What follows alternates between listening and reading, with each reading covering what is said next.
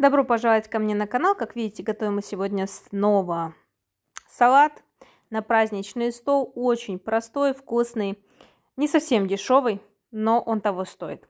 Нарезаем шампиньоны на кусочки, обжариваем на небольшом количестве подсолнечного масла до готовности и даем им остыть. Куриную грудку отвариваем и нарезаем маленькими кубиками. Все это дело отправляем в чашку. Также нам понадобится твердый сыр Натрите его на терке и отправляем курице.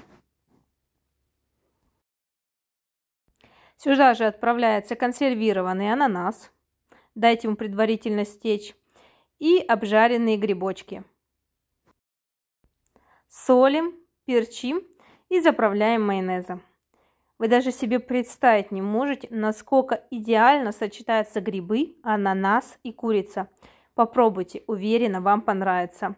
Такой простой, но такой вкусный. Праздничный салат. Готовьте с удовольствием. У меня на канале еще огромное количество всяких салатов.